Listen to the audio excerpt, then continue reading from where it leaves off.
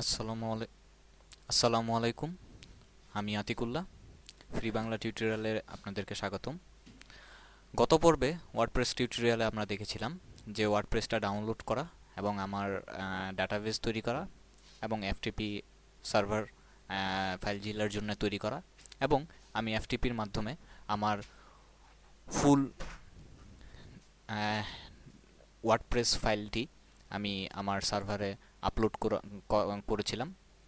এবং অবশ্যই আপনাকে শিওর হতে হবে যে এখানে আপনার, যখন আপনি ফাইলটি ট্রান্সফার করছেন, যে এখানে টোটাল এক ফাইল রয়েছে এবং এক ফাইল সাকসেসফুলি ট্রান্সফার হয়েছে, কোনো ফাইল এখানে এই লিস্টে মানে ফেইল ট্রান্সফার লিস্টে নেই, নাই।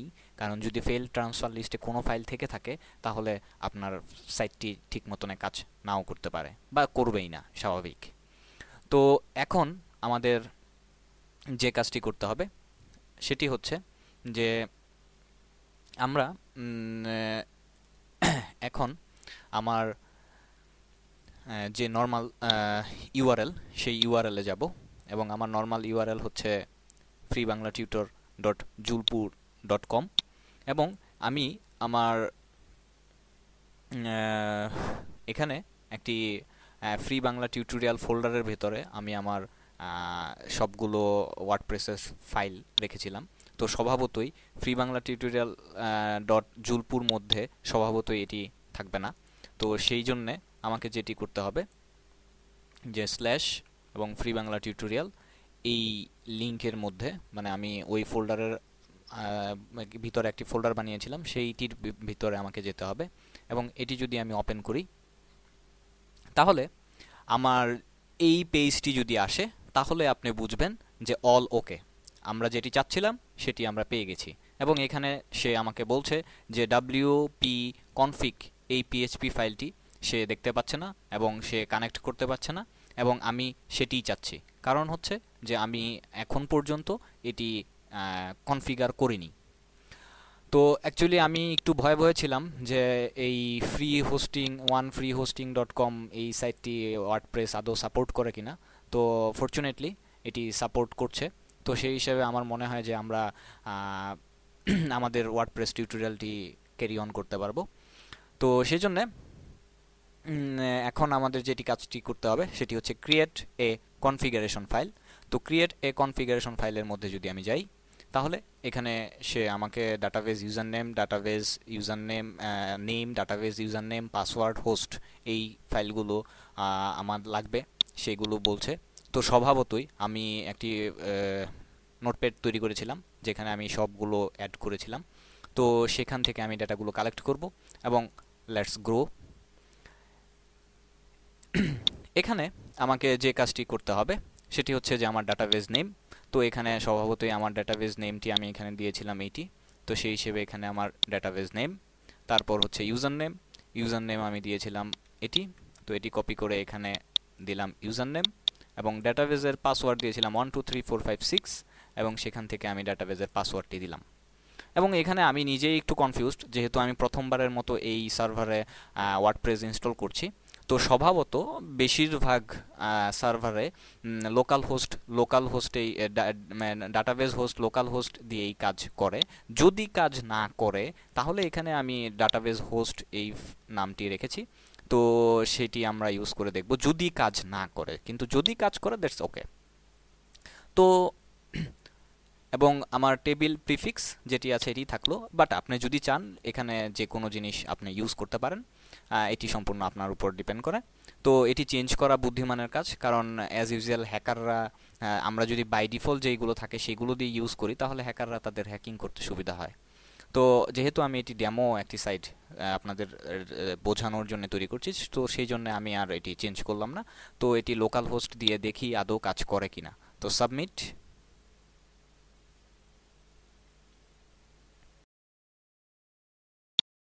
তো এখানে দেখুন, এটি আমার অ্যারোর দেখাচ্ছে, তার মানে এটি কাজ করছে না। তো স্বভাবতই আমি আবার পুনরায় ফিরে যাচ্ছি, এবং এখানে ডাটাবেজ নেম তো সেই জন্য এখানে ডাটাবেজ নেম দিচ্ছি। তারপর হচ্ছে ডাটাবেজ ইউজার সেই হিসেবে ডাটাবেজ ইউজার নেম দিচ্ছি। তারপর আমার পাসওয়ার্ড পাসওয়ার্ড দিচ্ছি। এবার আমি এই আমার যে মাইস্কুয়েল হোস্ট সেই মাইস্কুয়েল হোস্টটি এখানে ইউজ করছি এবং সাবমিট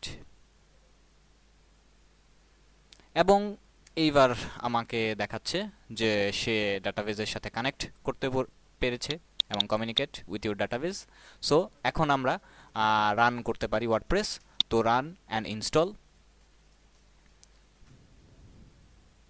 এবার আমার এই পেজটি চলে এসছে এবং আমার এখন যে আমার আদার্স ইনফরমেশন দিয়ে আমার ওয়ার্ডপ্রেস সাইটটি রান করাতে পারি। তো এটি হচ্ছে আমার বেসিক ইনস্টলেশন যে কীভাবে একটি ওয়ার্ডপ্রেস সাইট ইনস্টল করতে হয়। তো আমরা যদি দেখি যে এইভাবে আমার সাইটটি ইনস্টল হচ্ছে না বা এইভাবে আমি আমার ওয়ার্ডপ্রেসটি ইনস্টল করতে পারছি না। তাহলে এটি ফাইভ মিনিট ইনস্টলেশন নামে পরিচিত কুইক ইনস্টলেশনের জন্য। কিন্তু যদি এটি না হয়, তাহলে আমাকে ম্যানুয়ালি কাজ করতে হবে এবং ম্যানুয়ালি কাজ করার জন্য আমাকে যা করতে হবে, এটি যদি কাজ না করে, তাহলে আমাদের যেটি করতে হবে, সেটি হচ্ছে যে আমার, আমরা যে ওয়ার্ডপ্রেসের যে ফাইলটি ইয়া করেছিলাম ডাউনলোড করেছিলাম, সেখানে আমরা দেখব যে এখানে ওয়ার্ডপ্রেস কনফিগ স্যাম্পল নামে একটি ফাইল রয়েছে। এই ফাইলটি যদি আমরা ওপেন করি, তাহলে এখানে দেখব যে এখানে আমার, এই যে এখানে বলা হচ্ছে যে ডাটাবেজ নেম তো স্বভাবতই আমি আমার যে নোটপ্যাডে সেভ করেছিলাম, যে আমার ডাটাবেজ নেম সেই ডাটাবেজ নেমটি কপি করব এবং এখানে আমি সেই ডাটাবেজ নেমটি পেস্ট করব। আবার ডাটাবেজ ইউজার তো ডাটাবেজ ইউজারের জন্য আমার ডাটাবেজ এটি কপি করলাম এবং ডাটাবেজ ইউজারের মধ্যে পেস্ট করলাম। আমার পাসওয়ার্ড পাসওয়ার্ড কপি করলাম পাসওয়ার্ড পেস্ট করলাম এবং স্বভাবতই আমরা দেখেছি যে আমরা লোকাল হোস্ট ডাটাবেজ হোস্ট যেটি, সেই লোকাল হোস্টে কাজ করছে না। তো স্বভাবতই আমাকে এইটি কপি করে এখানে লোকাল হোস্টের বদলে এটি দিতে হবে এবং আমরা যদি একটু নিচে যাই, তাহলে দেখব যে ওই যে আমরা দেখেছিলাম টেবিল প্রিফিক্স আমরা যদি চাই সেই টেবিল প্রিফিক্সটি এখানে চেঞ্জ করতে পারি বাট আমি এখানে চেঞ্জ করিনি, তো আপনারা চাইলে চেঞ্জ করতে পারেন। এরপর এখানে যেটি রয়েছে, সেটি হচ্ছে যে আমাদের সিকিউরিটি বাড়ানোর জন্য আমরা যে কাজটি করে থাকি, যে এখানে আমার র্যান্ডমলি কিছু নাম্বার দেওয়া হয়, যাতে ডাটা আমার ডাটাবেস বা ওয়েবসাইটটি কেউ হ্যাক করতে না পারে, এবং এটির জন্য আমার এই ওয়ার্ডপ্রেসে বাই ডিফল্ট এটি আমাদের সুবিধার জন্য করা হয়েছে, করা রয়েছে যে আমরা যদি এই লিঙ্কটি কপি করে এখানে পেস্ট করি, তাহলে আমরা এখানে দেখব যে অটোমেটিক্যালি সে আমাকে কিছু নাম্বার দিচ্ছে এবং আমরা যদি পেজটি রিলোড করি, স্বভাবতই এখানে নাম্বারটি প্রতিনিয়ত চেঞ্জ হবে, আমরা একই নাম্বার বারবার কখনোই পাবো না। এইভাবে আমরা আমাদের ডাটা ওয়েবসাইটকে সিকিউর করতে পারি এবং এটি আমি টোটাল ফাইলটি কপি করলাম এবং আমার এখানে এই টোটাল ফাইলটি পেস্ট করলাম। তো নাও, অল সেট, এবং আমি যদি এটি, এটিকে এখন সেভ করি, সেভ করে আমাকে যে কাজটি করতে হবে সেটি হচ্ছে যে আমার এই ফাইলটি এখানে ডাটাবেস কনফিক সিম্পল নামে রয়েছে। তো আমার এই ফাইলটি সিম্পল কথাটি উঠিয়ে দিয়ে ডাটা ওয়ার্ডপ্রেস কনফিক শুধু এই ফাইলটির মধ্যে এই জাস্ট এনে রিপ্লেস করে দিতে হবে এবং রিপ্লেস করে দিলে স্বভাবতই আমার এই ওয়ার্ডপ্রেসটি ম্যানুয়ালি কনফিগ হয়ে গেল। তো যদি আমরা এভাবে ফাইভ মিনিট ইনস্টলেশন প্রসেসের মাধ্যমে আমরা যদি ওয়ার্ডপ্রেসটি ইনস্টল করতে না পারি, তাহলে আমাকে ম্যানুয়ালি ওইভাবে করতে হবে। তো এখানে আবার স্বভাবত আমরা তো যেহেতু ফাইভ মিনিট ইনস্টলেশনের মাধ্যমে এই সাইটটি করে ফেলেছিলাম, তো সেই জন্য আমরা আর ওই ম্যানুয়ালি প্রসেসে যাচ্ছি না জাস্ট ওইটা আপনাদেরকে দেখানোর জন্য, জানার জন্য দিয়ে বলে রাখলাম। এবার হচ্ছে আমার সাইট টাইটেল সাইট টাইটেলের জন্য আমি এখানে দিলাম ফ্রি বাংলা টিউটোরিয়াল এবং সাইডের অ্যাডমিন এবং বাই ডিফল্ট এটি অ্যাডমিন থাকে এবং সবচেয়ে বড় কথা হচ্ছে যে আমার নিজনাল অভিমত হচ্ছে যে আমরা কখনোই এই ইউজার নেমটি অ্যাডমিন রাখব না।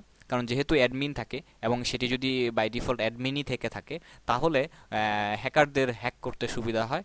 সেই জন্য আমরা স্বভাবতই চেষ্টা করব যে এখানে আমার ইউজার নেম অন্য কিছু দেওয়ার জন্য।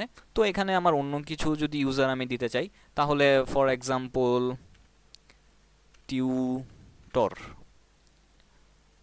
zero one tutor zero one দিলাম এবং আমার এখানে পাসওয়ার্ড দিলাম যে one two three four five six এবং এটি অবশ্যই উইক দেখাবে। তো আমার যদি পাসওয়ার্ড বড় করতে যাই তাহলে এ এস ডি মিডিয়াম দিলাম। A S D one two three four five six যে আমার পাসওয়ার্ডটি এরপর হচ্ছে আমার ইমেল অ্যাড্রেস এখানে আমি যে কোনো একটি ইমেল অ্যাড্রেস ইউজ করতে পারি। তো ফর এক্সাম্পল এখানে যদি আমি একটি email address info at the rate of আপনার যে সাইট থাকবে, সেই সাইটের ইমেল অ্যাড্রেসটি আপনি ইউজ করবেন। তো ফর এক্সাম্পল আমি এখানে যদি এই ইমেল অ্যাড্রেসটি ইউজ করি জাস্ট ফর এক্সাম্পল যদিও আমার এই নামে কোনো ইমেল অ্যাড্রেস নেই, এবং এটি হচ্ছে যে allow search engine to index the page this site যে আমার এই সাইটটিকে সার্চ ইঞ্জিনগুলা গুগল ইয়াহু বিং তারা ইন্ডেক্স করবে কিনা? তো শুরুতে আমাদের সবার উচিত যেটিকে আনচেক করে দেওয়ার জন্য, কারণ স্বভাবতই গুগল এবং ইয়াহু বিং যদি এসে দেখে যে আমার সাইডে কিছু নেই, তো স্বভাবতই এটি আমার সাইডের জন্য একটি ব্যাড ইফেক্ট পড়তে পারে। তো এটি আমরা পরবর্তীতে আবার অ্যাক্টিভ করতে পারব। তো আমি আপাতত এটি এভাবেই রাখলাম এবং ইনস্টল ওয়ার্ডপ্রেস এবং এখানে আমার ইউজার নেম এবং টিউটর টেন এটি আমার মনে রাখার সুবিধার্থে আমি আবার এটি আমার সাইডের মধ্যে WP admin user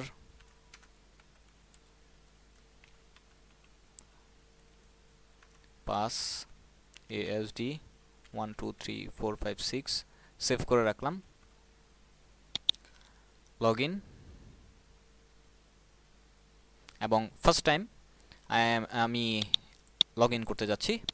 তো সেই হিসেবে আমার ইউজার নেম আমার পাসওয়ার্ড এবং যদি আমি আমার ইউজার নেম বা পাসওয়ার্ড ভুলে যেয়ে থাকি, তাহলে লস্ট ইউজার নেম পাসওয়ার্ডে যাই।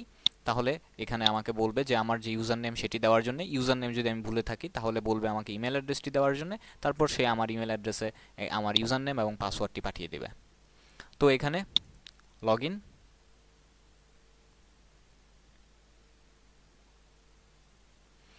okay here we go এখানে দেখুন যে আমার, আমি আমার ড্যাশবোর্ডে চলে এসেছি এবং ড্যাশবোর্ডের প্রথম আমি যেটি বলতে চাচ্ছি যে প্রথমে আমি ড্যাশবোর্ডে আসলে যে আমার ড্যাশবোর্ডের হোম পেজটি এখানে থাকবে এবং হোম পেজের এখানে প্রথমবার যখন আপনি লগ করবেন, তখন এটি দেখবেন এবং আমি যদি এটিকে ডিসমিস করে দিই, তাহলে এটি চলে যাবে এবং আমার যে কাজটি, যেটি এখানে শো করবে, যে আমার পুরো সাইডের একটি সামারি এখানে শো করবে যে প্রথমে আমার পোস্ট কয়টি রয়েছে পেজ কয়টি রয়েছে ক্যাটাগরি কি রয়েছে tag comment approve pending spam এগুলো রয়েছে।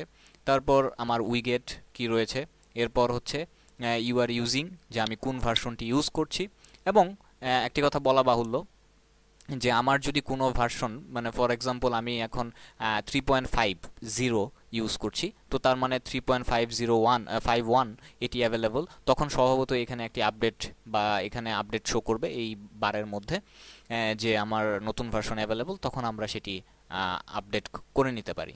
এবং আরেকটি কথা বলে রাখি আপডেটের ক্ষেত্রে অনেক সময় আমরা বিভিন্ন ধরনের প্রবলেম ফেস করে থাকি। ফর এক্সাম্পল যে আমার নতুন ভার্সনে আপডেট করার পর বিভিন্ন প্লাগিনস অথবা থিম কাজ করছে না। তো সেই জন্যে দেখা যায় কি আমাদের আবার পুরাতন ভার্সনে ফেরত যেতে হয়। তো পুরাতন ভার্সনে ফেরত যাওয়ার জন্য আমরা যদি ওই dot no WordPress dot org এবং ডাউনলোড এই স্ল্যাশ ডাউনলোড এই লিঙ্কটির মধ্যে আসি এবং রিলিজ আর্কাইভ এবং এখানে আমরা একদম প্রথম থেকে শেষ পর্যন্ত, এখন পর্যন্ত যে ভার্সনগুলো ডাউনলোড রিলিজ করা হয়েছে, সেই ফাইলগুলোর লিঙ্ক আমরা পাবো। আমরা ধরেন যদি থ্রি পয়েন্ট ফাইভে আগে থাকে, থেকে থাকে, তখন আমি এটি আবার আপলোড করে নিতে পারি। সরি ডাউনলোড করে নিতে পারি। ডাউনলোড করে আমি আবার নতুন করে আমার সাইটটি ইনস্টল করে নিতে পারি। তো, এখন আমরা যে এই ব্যাপারটি আমরা দেখতে যাব সেটি হচ্ছে যে আমার এই টুলবারটি এই টুলবারটি অনেক কার্যকরী এবং অনেক easy to proceed various things for example যে আমরা এখানে টুলবারের মধ্যে গেলে directly post media page page এবং ইউজারের মধ্যে চলে যেতে পারছি। এখানে আপনার সাইডের নাম থাকবে।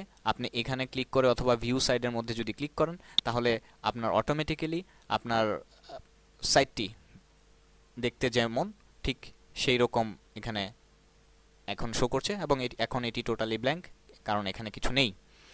আবার যদি আপনি আবার আপনার ড্যাশবোর্ডে চলে যান, তখন স্বভাবতই আমার এই টুলবারটি আবার চেঞ্জ হয়ে যাচ্ছে, যে এখানে দেখুন, এবার ড্যাশবোর্ডে যাওয়ার জন্য dashboard theme customize widget menu background header এইসব আবার নিউ এবং কমেন্ট যদি কোনো নতুন কমেন্ট থেকে থাকে, তাহলে সেটি। এবং আমি যদি আবার ড্যাশবোর্ডে ফেরত যাই, তাহলে এখানে দেখবেন যে এখানে আমার যে ইউজার নেমটি দেখাচ্ছে এবং এডিট প্রোফাইল লগ আউট যে আমি এখান থেকে লগ আউট করছি। তো এখানে আমি, এটি আমার সামারি এবং এখানে রিসেন্ট কমেন্ট, যে নতুন যদি কোনো কমেন্ট এখানে আসে, তাহলে সেই কমেন্টগুলো এখানে থাকবে।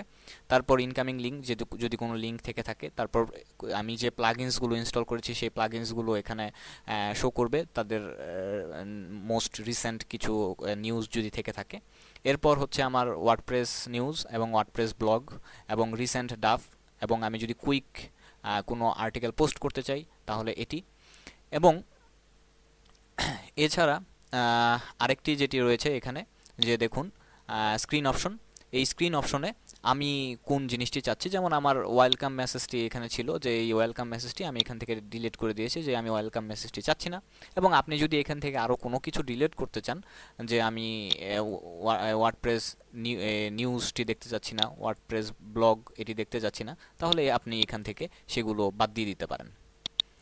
আবার যদি কোনো হেল্পের দরকার পড়ে, তাহলে এখানে হেল্প অপশন রয়েছে এবং কোনটি কীভাবে কাজ করছে এবং তাদের স্বভাবতই যে আমাদের ওয়ার্ডপ্রেস ডট অর্গে বিশাল একটি সলিউশনের অপশন রয়েছে যে আমরা তাদের সাপোর্ট ফোরামের মধ্যে গিয়ে সাপোর্ট কোনো কিছু চাইতে পারি যে আমার এই প্রবলেম কেউ থাকলে সেখান থেকে হেল্প করবে। আবার এদিক থেকে ডকের মধ্যে তাদের ডকুমেন্টেশন দেখতে পারি। এবং কেস শোকেসের মধ্যে